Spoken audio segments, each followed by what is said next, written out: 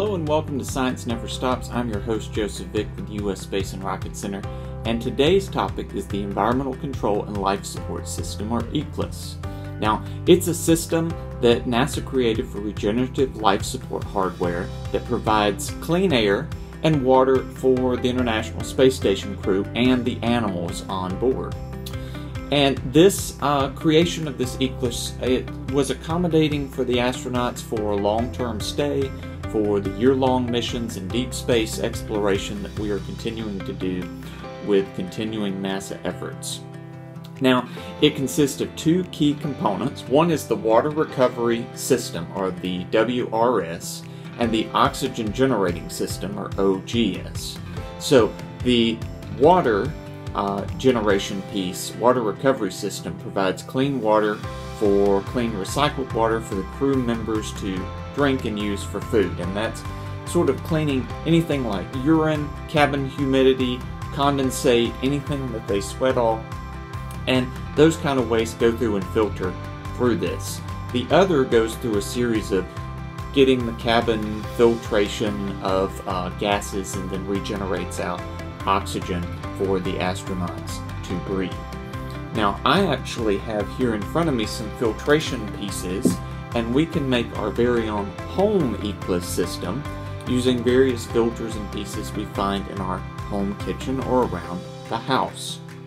And we can do this by first gathering a large glass piece. So I happen to have here my uh, coffee pot and with that coffee pot, I have various other filtration means. So one, I have the coffee filters, the metal filters and mesh filters that it comes with. You can find those in around the house or using other coffee filters that then you can use to filter out liquid waste or paper towel. Other sort of filtration means I have are marshmallows, so marshmallows are, they're absorbent. They have a lot of surface area, especially these which are the jumbo marshmallow pieces. And rocks that I went and I found outside. Rocks are very good because they have the coarse surface area around them that could be used to filter out some contaminants. Some pasta and rice. I also have a rubber band so that we can use to sort of adhere or keep these filters in place. Now, what are we going to filter? I happen to have some liquid waste right here. Now, don't worry, it's just food coloring. So I had yellow food coloring to a pitcher of water, and in this pitcher of water, I've added an assortment of things you can find around the house. So I added some cereal pieces in the top, grated some pepper and put that in there, added some oil and even some distilled vinegar, so it has some smell to it, and a little bit of rice on the bottom. You could add rocks, you could add plastic beads, so whatever you think is best to add that you think you can filter with your home ECLSS system. So whatever you find around your house, gather that on your table. Draw it out, sort of draw out a of, plan of what kind of filter you want to make and what steps you want this filter to filter through these items and gather your collection device. So I'm going to not use the metal filters because I think that would be cheating, but you can if you want to. So I'm going to take two of the regular coffee filters. I'm going to set those on the top there, just like that. And I'm going to add a rubber band around the top so they're sort of staying in place. You know what? Let me add paper towel first. I'll add paper towel because it's bigger. There we go.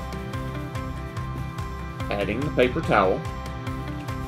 Then I'll add my coffee filters.